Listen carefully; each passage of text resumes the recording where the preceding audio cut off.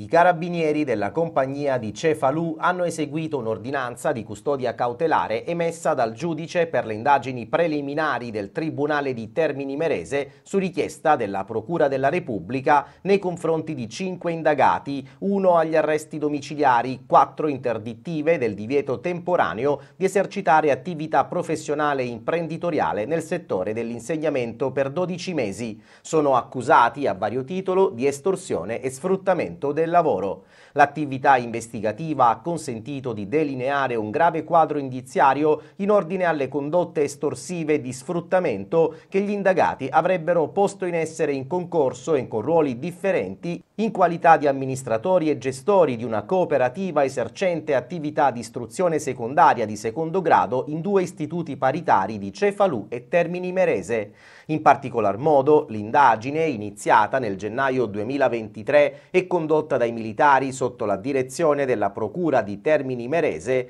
ha delineato le modalità di assunzione e impiego in condizioni di sfruttamento adottate dagli indagati nei confronti di docenti e personale ATA, tratteggiando un disegno criminoso realizzato dai presunti autori sin dal settembre del 2019. Le vittime, obbligate mediante minaccia oppure agevolate dalla necessità di ottenere i punteggi per accedere alle graduatorie pubbliche per le successive assunzioni, nonché dal loro stato di bisogno connesso alla crisi economica e occupazionale, avrebbero prestato la loro attività lavorativa in difformità e in misura sproporzionata alla contrattazione nazionale e anche a titolo gratuito, restituendo la retribuzione formalmente ottenuta per il lavoro prestato. Tale dinamica sarebbe stata individuata per 118 dipendenti della cooperativa, in quanto gli indagati avrebbero operato a vantaggio della stessa mantenendo bassi costi di gestione e massimizzando i profitti. Sono stati sottoposti a sequestro preventivo 65.300 euro in contanti rinvenuti presso le abitazioni degli accusati e all'interno degli istituti paritari riconducibili alla cooperativa e custoditi in alcune circostanze dentro buste con elenchi nominativi del personale dipendente.